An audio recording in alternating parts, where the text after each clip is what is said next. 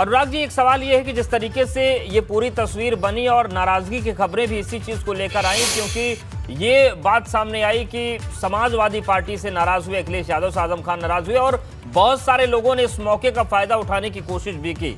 क्या यहाँ से एक चीज़ मिल सकती है, समाजवादी पार्टी, या उठा सकती है कि आज़म खान के पक्ष में वो वो सब कुछ करे जो आज़म खान चाहते हैं और जो बिगड़ती हुई बातें हैं वो बन सकें? क्या इस बारे में आप लोग सोच रहे हैं?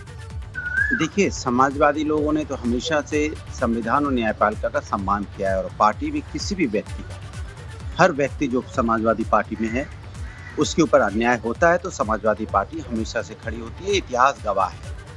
और आज़म खान साहब तो पार्टी के सबसे बड़े और नेताजी के समय के नेता हैं।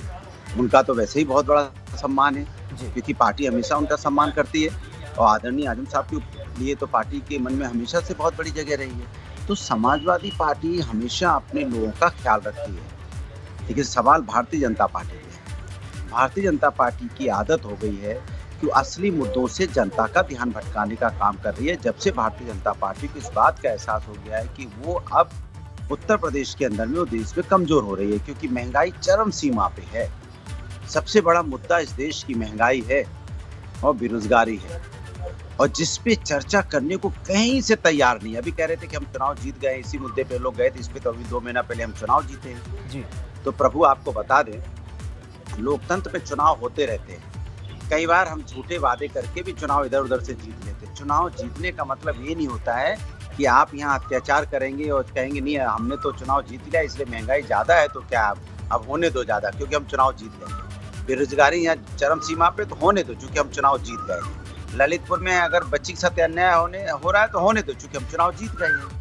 अगर यहाँ पे किसी तरह की घटना महिलाओं के साथ हो रही है तो होने दो, चूँकि हम जीत गए हैं। यहाँ पे अगर चोरी, डकैती, हत्या लूट मार बलात्कार बढ़ रहा है उत्तर प्रदेश में, आवाज़ हम उठाएँगे तो आप कहोगे, क्यों आवाज़ उठा रहे हो? हम लोग तो चुनाव जीत गए हैं। चुनाव जीतने का मतलब ये नहीं हो जाता है कि आपको सर्टिफिकेट मिल गया है कि यहाँ महँगाई, बेरोजगारी बढ़े, डीजल, पेट्रोल की कीमत बढ़े खाने पीने के सामान की कीमत बढ़ जाए।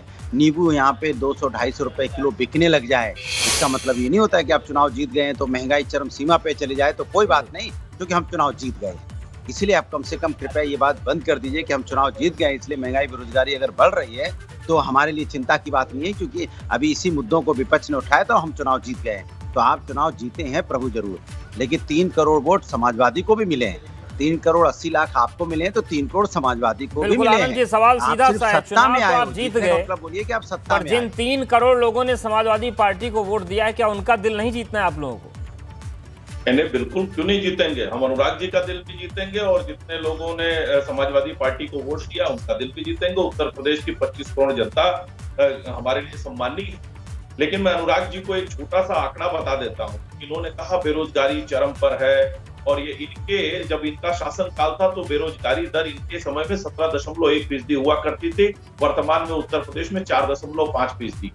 और इनकी सरकार ने, समाजवादी पार्टी की सरकार ने एक लाख पंचानवे हज़ार सिर्फ़ सरकारी नौकरी की पाँच साल के कार्यकाल में, हमने पिछले पाँच साल के कार्यकाल में साढ़े चार लाख से ज़्यादा सिर्फ़ सरकारी नौकरी अगर हम सरकारी नौकरी की तुलना करें, और बहुजन समाज पार्टी ने तो सिर्फ़ नब्बे हज़ार ही दी। तो चाहे वो बेरोजगारी का मामला हो, चाहे लॉ एंड ऑर्डर का मामला हो, चाहे उत्तर प्रदेश में इंफ्रास्ट्रक्चर के डेवलपमेंट का मामला हो, चाहे उत्तर प्रदेश में अस्पताल बनाने का मामला हो, चाहे उत्तर प्रदेश में किसी भी मामले में समाजवादी पार्टी की सरकार या समाजवादी पार्टी की पिछली, इसके पहले की जो सरकार है, वो कहीं से भी भारतीय जनता पार्टी के सामने खड़ी नहीं होती है। और इन्हीं सारी चीज़ों को देखकर उत्तर प्रदेश की जनता ने भारतीय जनता पार्टी को वोट दिया।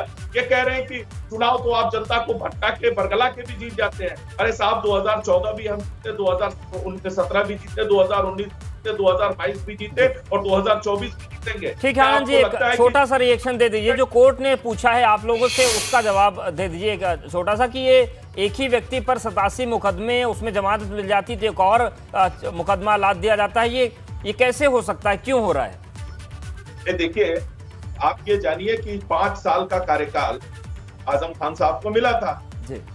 बहुत ही पावरफुल मंत्री थे।